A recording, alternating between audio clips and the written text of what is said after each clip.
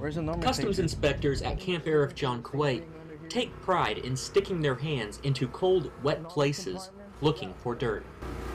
These Navy Reserve inspectors are members of the Naval Expeditionary Logistics Group Forward.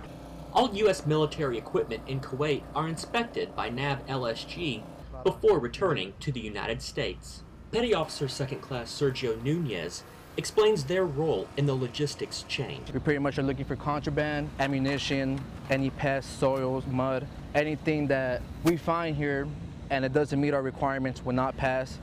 And the workers here will rewash it again until it meets those requirements. It's a job he takes seriously. I want them to see my name and to see, you know what, this guy did a good job and you know the guys, the U.S. Customs and NAVELSG Forward are doing a good job out there.